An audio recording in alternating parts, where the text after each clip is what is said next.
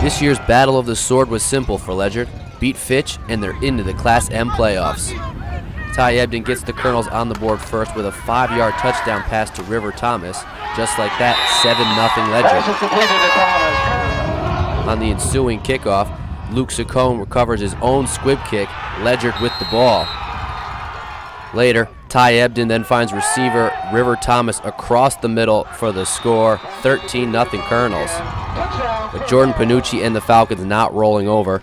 After they forced a JoJo Shoemaker fumble, John Moskal breaks off a 43-yard run. Give them all six of those. Just like that, we're tied at 13.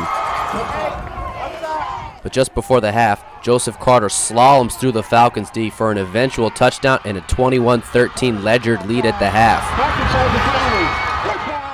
Long run by Joe right before the half to put us up a score, I think uh, really kind of got the momentum back in our favor. Uh, the kids felt good about it, got a little bit of confidence back underneath them, and uh, we played very well in the second half. The Colonels' rushing attack just too much for Fitch. JoJo Shoemaker makes a couple of guys miss en route to a 63-yard touchdown run. Then in the fourth, Fitch going for it on fourth down, and Luke Saccone comes up with the interception and provides the exclamation point as well as he runs it all the way back.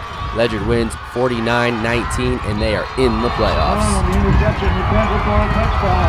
Real happy for the kids, 9 and 2. Uh, you know, when we started back on August 14th, I don't think there's too many people that uh, thought we'd be a nine-win football team and heading to the state playoffs.